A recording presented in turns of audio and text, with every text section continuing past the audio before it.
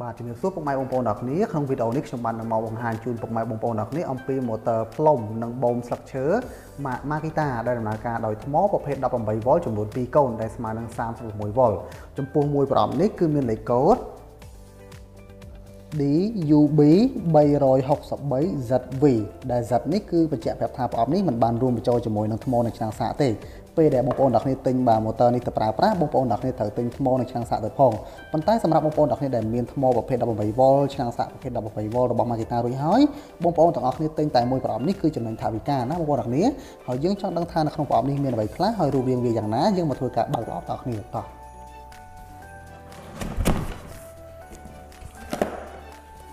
បាទខាងក្នុងហ្នឹងបានភ្ជាប់មកជាមួយនឹងបានធនីបាទនេះគឺជាបានធនី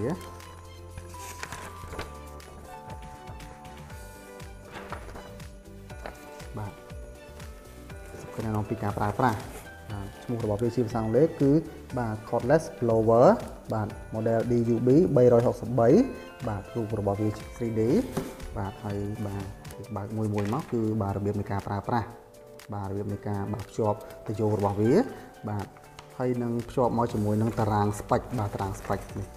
បាទតារាងស្ពេចរបស់បាទម៉ូទ័រនឹងផ្ទាល់ហើយបានភ្ជាប់មកជាមួយនឹង poster ណាបងប្អូន poster នេះគឺបញ្ជាក់ប្រាប់ថាបាទ ថ្ម 18V ប្រើជាមួយនឹងម៉ូទ័រហ្នឹងណាមិនមែនប្រើតែជាមួយនឹងម៉ូទ័រហ្នឹងមួយទេគឺយើងប្រើជាមួយនឹងម៉ូទ័រផ្សេងទៀតរបស់ Makita ប្រភេទ 18V ច្រើនប្រភេទមានម៉ូទ័រ Rona បាទម៉ូទ័រ wheel ម៉ូទ័រឆាបម៉ូទ័របាញ់វេសម៉ូទ័រស្វានេះផ្សេងៗបាទមានច្រើនណាបាទអូខេបាទដោយសារម៉ូទ័រនេះបាទជាប្រភេទម៉ូទ័រមាន2មុខងារគឺផ្លុំក៏បានបាទបឺតក៏បានផ្លុំហ្នឹងគឺសំដៅទៅលើផ្លុំដីផ្លុំស្លឹកឈើផ្លុំអឺសម្ងួតអីផ្សេងៗហើយតាក់ទងជាមួយនឹងបឺតគឺយើងបឺតស្លឹកឈើណាបងប្អូនទាំងគ្នាបាទបឺតស្លឹកឈើវាវាយកំទេចទៀតអញ្ចឹងក្នុងប្រអប់ហ្នឹងបានភ្ជាប់មកជាមួយនឹងបាទថងទុកស្លឹកឈើនៅពេលវាបាទវាបឺតមកហើយវាវាយបាទវាយឡើងម៉ត់ហ្មងណាម៉ត់វាចូលក្នុងនេះបាទហើយម៉ត់ចូលក្នុងហ្នឹងហើយវាមានបាទរុនខ្យល់វាបាទ បញ្ចេញដីតាមនេះបាទបងប្អូនគ្នានៅពេលដែលបឺតស្លឹកឈើមកវាយម៉ត់ហើយវាចេញបាទកតិចណាដែលតូចជាងនេះគឺវាចេញមកតែបើថាកតិចធំជាងហ្នឹងគឺវាបាទនៅក្នុងថង់ហ្នឹងណាបងប្អូនគ្នាបាទហើយមានខ្សែបាទរបស់វាមានក្លីបរបស់វាបាទនេះក្លីបរបស់វាបាទហើយវាអាចដកបានពីរកន្លែងអញ្ចឹងមកណាបងប្អូនគ្នាបាទបាទភ្ជាប់មកនឹងតយោបាទនេះតយោក្បាលផ្លុំ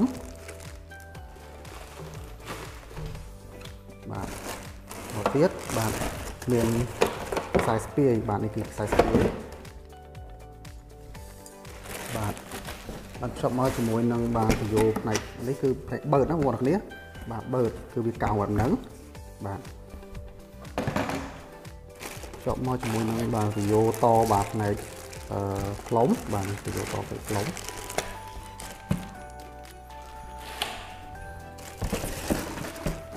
គឺជាពយោតផ្នែកបឺតបាទនេះមុខរបស់វាបឺតយើងដាក់បែបនេះហ្នឹងបងប្អូនគ្នាបាទ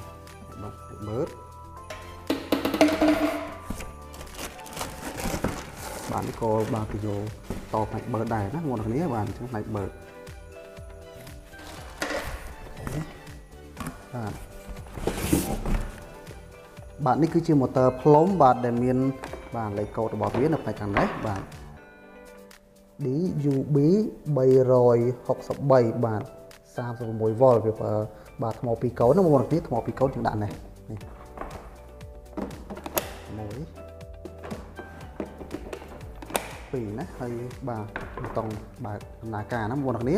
បាទវាមានពីរលេខបាទលេខ1លេខ2យ៉ាងមកណាលេខខ្លាំងខ្សោយយ៉ាងមកបាទហើយនេះកងតាក់ដំណើរការរបស់វាបាទនៅពេលយើងចុចគឺវាអត់ដំណើរការទេដោយសារអីដោយសារបាទនៅពេលដែលយើងបាទអឺមិនតន់ភ្ជាប់នេះ ដោយសារយើងមិនតន់ភ្ជាប់បាទ accessory ទាំងអស់នេះមកណាបងប្អូនគ្នានៅពេលដែលភ្ជាប់គឺយើងមូលឲ្យណែនមូលឲ្យណែនទើបអាចប្រើប្រាស់បាន បាទអានេះគឺជាបាទក្បាលទយោខាងផ្នែក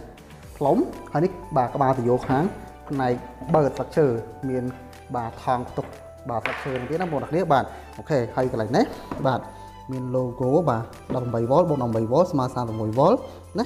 បាទអូខេហើយមាន logo បាទ BL motor បញ្ជាក់ថា motor នេះជាប្រភេទ motor មិនប្រើខ្ជុំបាទនៅពេលដែលយើងបាទចង់បាទធ្វើការបឺតណាបាទគឺយើងមូលនេះបាទយើងយកសោតាន់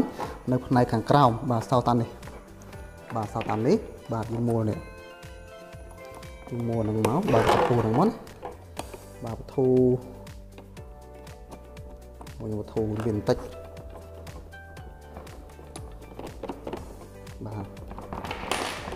ធូចឹងមកហើយយើងទាញបាទកលឹះនេះហើយយើងភ្ជាប់បាទភ្ជាប់នេះចូលនេះបាទភ្ជាប់យោធំនេះបាទភ្ជាប់យោធំនឹងចូលបាទនៅពេលភ្ជាប់យោធំនឹងចូលមូលណែនហើយបាទយើងអាចប្រើប្រាស់បានណាហើយខាងផ្លុំក៏ដូចគ្នាដែរបាទយើងបាទនេះដាក់នេះ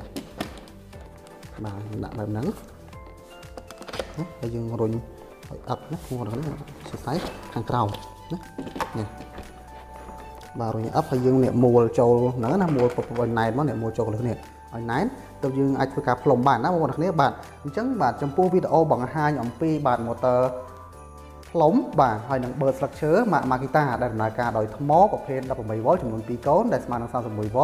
បាទដែលមានលេខកូដ DUB 363 ZV ខ្ញុំបាទមានតែប៉ុណ្្នឹងសម្រាប់បងប្អូនអ្នកគ្នាមានចំណាប់អារម្មណ៍អាចតាក់ទងមកក្រុមបច្ចេកទេសបានណាបងប្អូនអ្នកគ្នាបាទសូមអរគុណសូមជម្រាបលា